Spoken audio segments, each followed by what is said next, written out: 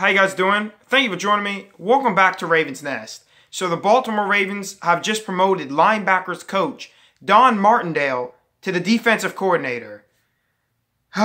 man, man, Ravens, they mess it up again. They really messed it up again. You say, who's Don Martindale? Well, yes, he was the linebackers coach for the Baltimore Ravens since 2012. Got a ring with us, so that is definitely good. But there were rumors about Ravens possibly getting Chuck Pagano. I guess he was not interested in the job because clearly that would have been the best choice.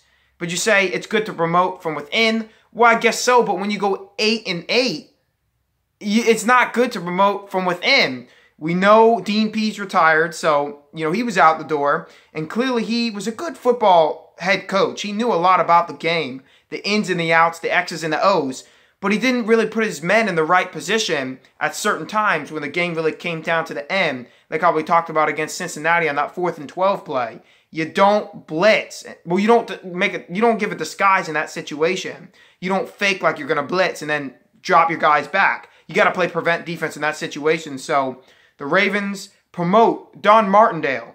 And one fact about him is that he has actually been a defensive coordinator in this NFL before. He was the defensive coordinator in 2010 for the Denver Broncos when they had the worst defense in football that season.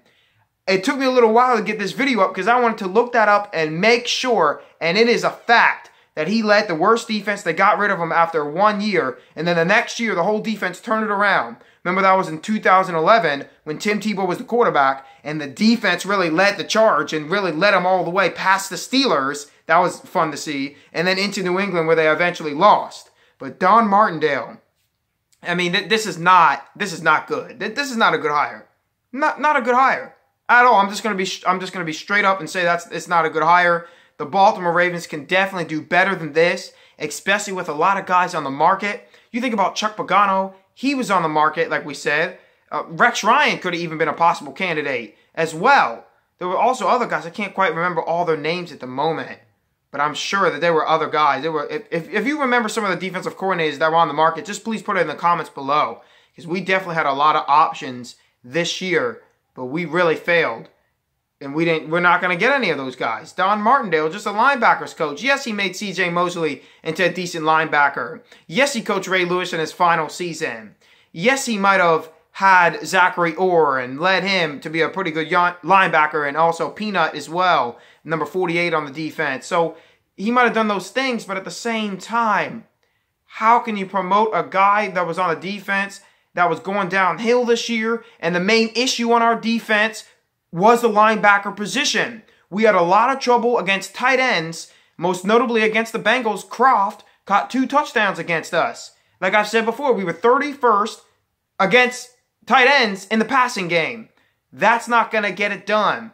Even his linebacker corps has had question marks. Yes, Mosley made another Pro Bowl. Give him a lot of credit. But I feel as if Mosley never has taken, there's just something about it. He hasn't taken the next step to be an, a cover linebacker against the top teams, like, you know, against Pittsburgh, New England.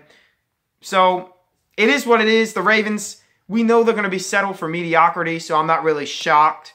You know, like I said before, you know, you either choose Harbaugh and you keep mediocrity or you get rid of them and you risk being bad, but you have a possibility of being great. So it's like a high risk, high reward type of thing.